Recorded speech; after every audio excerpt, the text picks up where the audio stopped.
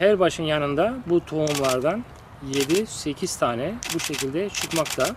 Bunları ekmeye gerek yok. Bunlar direkt satım olarak kullanılacak. Bunları tohum olarak kullanabileceğiz.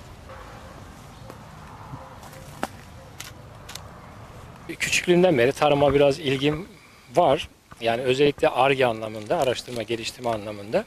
Bu fil sarımsağını e, 2018 yılında e, Tayland'a giden bir arkadaşım bana bir diş olarak getirdi. Sadece bir diş olarak hediye olarak verdi.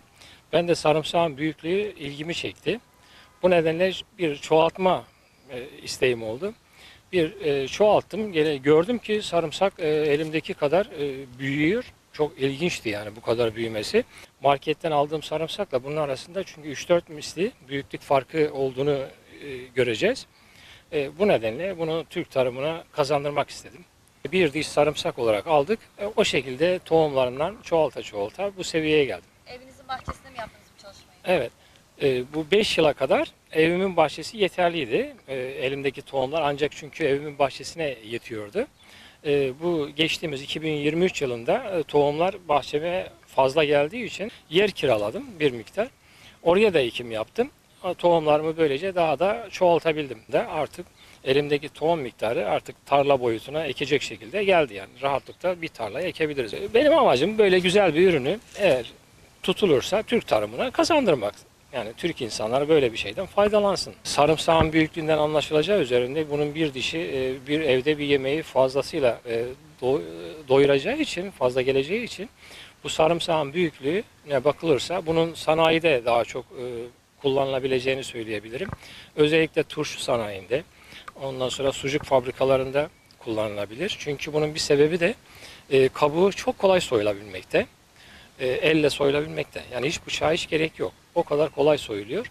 Bir de bunu üretim aşamasında hiç tarım ilacı kullanılmıyor. Sıfır ilaç. Yani ne mantar hastalığı ne de e, böcekle bulaşan hastalıklar 5-6 yıldan beri daha hiç görmedim. Bu nedenle gayet organik bir üründe olduğunu rahatlıkla söyleyebiliriz. Adana toprağını sevdi. Özellikle ben ama daha geniş bir coğrafyada ekim yapmadığım için eminim ki Adana iklimine yakın işte Mersin, Hatay gibi illerimizde bu ürün kesinlikle çok iyi olacağını düşünüyorum. Bizim yerli sarımsağımız kadar tabii ki çok keskin değil ama bunun da aroması yeterli.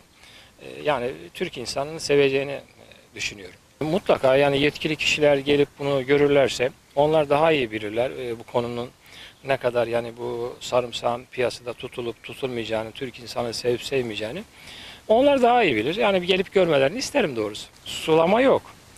E, tarım ilacı hiç kullanmıyoruz. Sadece mücadele ot babında oluyor. Hayvan gübresini çok kullanıyoruz. Hayvan gübresini organik materyal bu sarımsak türü çok seviyor. Yani ne kadar organik materyal hayvan gübresi olursa o kadar gördüğünüz gibi verim bu kadar yüksek olabiliyor. Bu sarımsak biraz önce e, marketten aldığım sarımsağın dişi. Bu da benim ürettiğim sarımsağın dişi. Bundan sonra artık yetkilileri buraya davet etmek isterim. Gelip görsünler.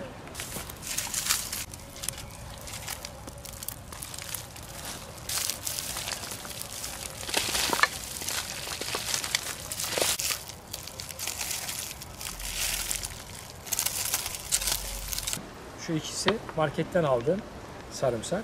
Bu da benim ürettiğim sarımsak. Büyüklükleri böylece daha iyi görülebiliyor. Aradaki büyüklük farkı yani bu da bir baş, bu da bir baş. Aradaki büyüklük farkını kıyaslayabiliriz böylece.